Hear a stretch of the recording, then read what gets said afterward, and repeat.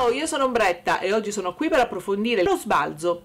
Lo sbalzo è una tecnica decorativa antichissima attraverso cui si danno delle forme a rilievo a delle sottili lamine metalliche. Le lamine metalliche più usate per lo sbalzo di solito sono le lamine in rame, proprio perché il rame è molto duttile, è molto facile da lavorare e quindi si presta molto bene a questa tecnica. Ma ci sono tante lamine che si possono lavorare, anche molto preziose, come quelle di oro e di argento. Novecento. Per esempio nell'iconografia russa e bizantina ci sono proprio delle intere lamine a proteggere alcune icone che si chiamano risa e che si mettono sopra le icone per orpellarle, per decorarle nei giorni di festa. È come se fosse un gioiello che si mette per esempio ad una Madonna per renderla bella il giorno della sua festa. Queste lamine sono lavorate proprio con la tecnica dello sbalzo.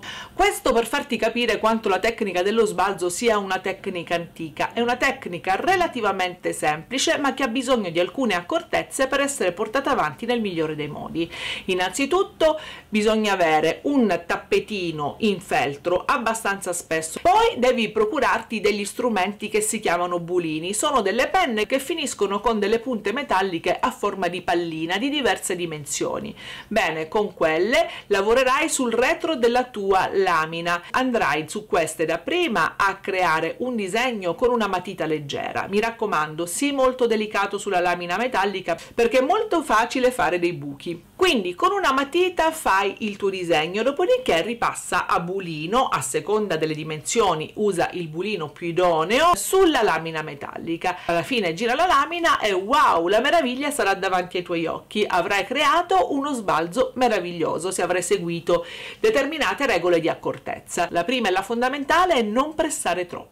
La seconda regola è non fare scorrere il bulino troppo velocemente perché l'attrito genera calore. Il calore crea dilatazione e la dilatazione crea i buchi sulla lastra e questo noi non lo vogliamo. No, no. La tecnica dello sbalzo, che sembra una tecnica così antica e così caduta in disuso, in realtà è una tecnica bellissima per creare degli oggettini super moderni, come ad esempio dei bellissimi ciondoli shabby chic per le nostre case. Basta spingere un po' avanti la nostra creatività per creare cose utili e attualissime che davvero ha grandi potenzialità. Per mantenere bene le nostre lastre lavorate a sbalzo conservale sempre in una carpetta ampia e proteggile con il pluriball quella carta tutta a palline che ci divertiamo tanto a schiacciare. Bene questo farà sì che la lamina non si ammacchi e mantenga sempre la sua struttura.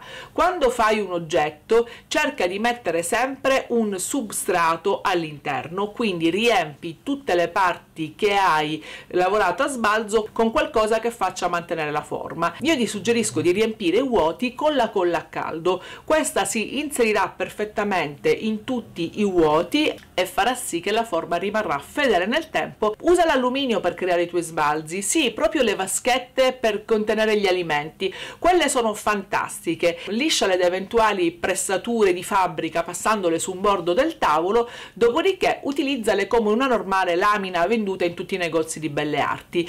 Per colorare le lamine metalliche puoi usare gli smalti per unghie, sono trasparenti, bellissimi ed economici, quindi ricicla quello che hai in casa per dare effetti cromatici fantastici alle tue creazioni sbalzo. Bene, spero che tutti questi suggerimenti e quello che ti ho detto durante il video ti sia servito da approfondimento. Noi ci ritroviamo sempre qua, ciao! Video in collaborazione con la Raffaello Editori, contenuti digitali compresi all'interno del bellissimo libro Spazio Arte, di cui ho curato moltissimi contenuti digitali.